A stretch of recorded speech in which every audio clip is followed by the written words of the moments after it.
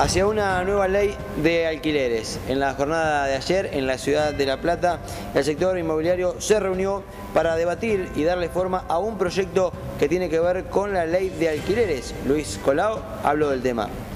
Y hoy hace falta cantidad de viviendas en alquiler. Primero, para regular los valores de mercado, que ya los está fijando, pero aparte para incentivar la construcción que hoy está tan caída. Centro de Formación Profesional 401, inscripción récord. El pasado lunes se, inició el periodo de inscripción para ser parte de los diferentes cursos.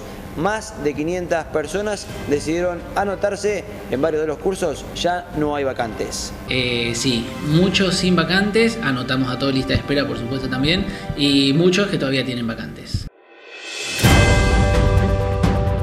Capacitación en cuestiones de género. Mañana habrá sesión extraordinaria en el Consejo Deliberante de Mercedes.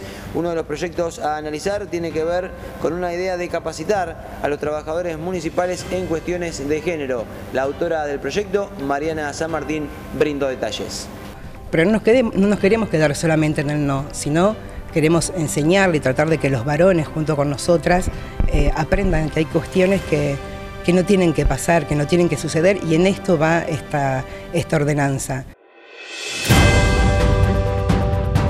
Cumbre peronista en Rodríguez.